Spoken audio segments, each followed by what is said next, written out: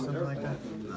Oh, okay. Um, yeah. Why do you uh, Why do you think? What was your kind of assessment of today's game?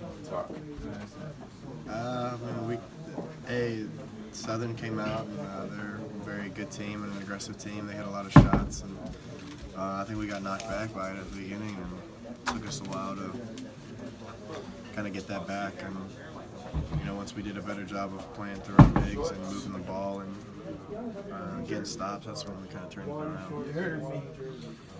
Uh, what was it like having Marvin back, um, knowing he could kind of come back and it wasn't worse?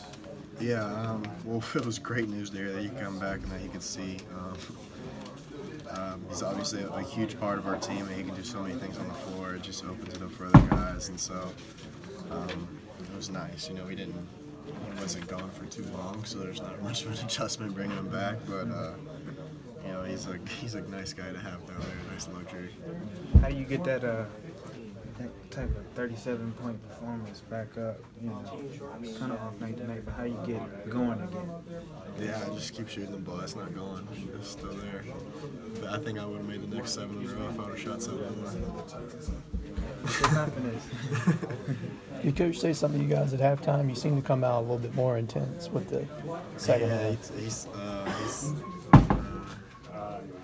he spoke to us and uh, he just tried to light a fire under us. I mean, I think Southern knocked us back. They came out hard and aggressive. They're a good team. It almost seemed like Coach K was was letting y'all work through it. Like I, I was looking at him on the side the first half, and it was almost like he was like, "This is the way you have to learn."